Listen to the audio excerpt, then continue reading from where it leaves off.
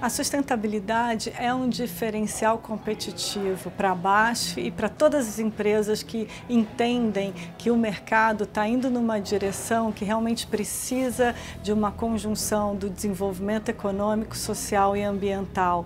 O consumidor ele realmente está buscando isso, as empresas estão indo atrás de como fazer mais e melhor, né, de uma forma que seja bom não só para a empresa, mas para a comunidade e para o planeta.